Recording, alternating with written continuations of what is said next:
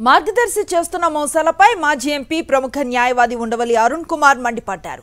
ఎలాంటి లైసెన్స్ లేకుండానే మార్గదర్శి chit fund సమాంతర బ్యాంకింగ్ వ్యవస్థను నడిపిస్తోందని ఆరోపించారు. ఈ కేసులో రిపోర్ట్ చేసిన ప్రముఖ జర్నలిస్ట్ ఏబీకే ప్రసాద్ను కూడా ఇరికించే ప్రయత్నం చేశారని ఆరోపించారు. మార్గదర్శి మొత్తం ఓ పెద్ద అవినీతి పుట్ట అని ఉండవల్లి అరుణ్ కుమార్ విమర్శించారు.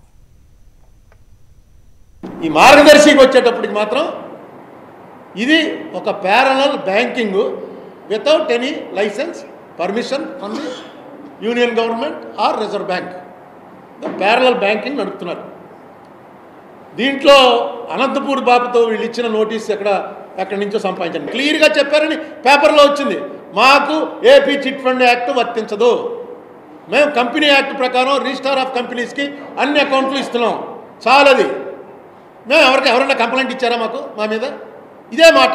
ఎవడన్నా కంప్లైంట్ ఇచ్చాడా? రామోజీరావు మీద కంప్లైంట్ ఇచ్చి ఏబీకే ప్రసాద్కి ఏమైందంటే ఏబీకే ప్రసాద్ అంటే స్టార్ ఎడిటర్.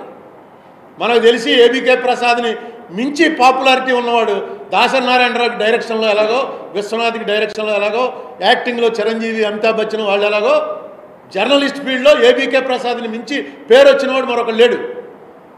అంత పేరున్నటువంటి జర్నలిస్టు జాగ్రత్తలు చూసుకుని రాసే జర్నలిస్టు గవర్నమెంట్ వారు పెట్టినటువంటి కేసుని తీసుకొచ్చి రిపోర్ట్ చేస్తే ఆయన్ని శిక్ష ఇచ్చారు. శిక్ష డబ్బులు కట్టేశాడు ఆయన.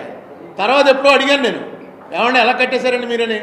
ఏ అన్నాళ్ళు తిరుగుతామా కోర్టు చుట్టుతాను ఎవరి చేత వేయిస్తాడు? ఆయన రాడు కోర్టుకి. మనం కోర్టు చుట్టూ తిరగాలి. ఎందుకు వచ్చింది ఇది ఇంకా? ఇక ఏ కోర్టుకి వెళ్ళినా ఇది ఇలాగే ఉంటుంది లాగుతూ ఉంటుంది. నేను తిరగలేను అందుకని కట్టేశాను. రెండు వేలు అంతా ఫైన్ కట్టాడు ఏబీకే ప్రసాద్కే ఆ పొజిషన్ తేగలిగారంటే ఇది ఏంటి ట్విస్ట్ ఎలా చేస్తారు? నేను ప్రభుత్వానికి సంబంధించిన అడ్వకేట్లను ఒకటే కోరుతున్నా. ఎందుకు అనవసరం? రెండు గంటలు చెప్తాడు. ఆరు గంటలు ఆయన ఆరు గంటలు చెప్తే ఇంటి పన్నెండు గంటలు చెప్తాడు. ఎందుకు ఈ ఆర్గ్యుమెంటు ఒక ఆర్డర్ ఇచ్చేమనండి కంప్లైంట్ లేకపోతే ప్రభుత్వానికి విచారణ చేసే హక్కు లేదు. చెప్పేయండి ఒక ఆర్డర్ అయిపోయింది. కంప్లైంట్ లేదు కాబట్టి నా మీద మీరు చేయకూడదు అంటున్నారు. కంప్లైంట్ లేకపోతే చేయడానికి లేదు అని చెప్పండి.